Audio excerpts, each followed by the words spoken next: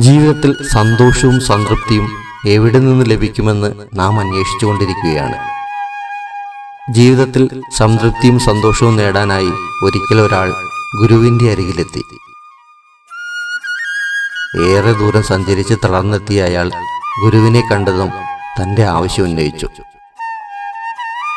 ചെറു മന്ദഹാസത്തോടെ ഗുരു പ്രതിവചിച്ചു ഉപദേശത്തിനു മുൻപായി കുടിക്കാൻ അല്പം ചൂടുവെള്ളം തരട്ടെ. അതിഥി ആശ്വാസത്തോടെ സമ്മതിച്ചു ഒരു കപ്പ് നിറയെ തണുത്ത ജലം നിറച്ച് മുമ്പിൽ വെച്ച ശേഷം അതിനു മുകളിലേക്ക് ഗുരു ചൂടുവെള്ളം ഒഴിച്ചു തുടങ്ങി. ഒഴുകിപ്പോകുന്ന വെള്ളം നോക്കി അതിഥി അമ്പരന്നു. അങ്ങെന്താണ് ചെയ്യുന്നത്?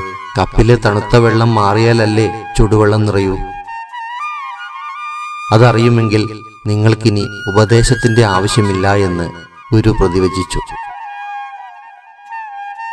മനസ്സിൽ നിറഞ്ഞിരിക്കുന്ന അസംതൃപ്തിയുടെയും കോപകാലുഷ്യത്തിന്റെയും അംശങ്ങൾ പുറത്താക്കിയ ശേഷം സന്തോഷത്തോടെ ജീവിതത്തിലെ ഓരോ നിമിഷത്തെയും ഉൾക്കൊണ്ടു നോക്കൂ. മനസ്സിലാകെ ശാന്തിയും സമാധാനവും നിറയും.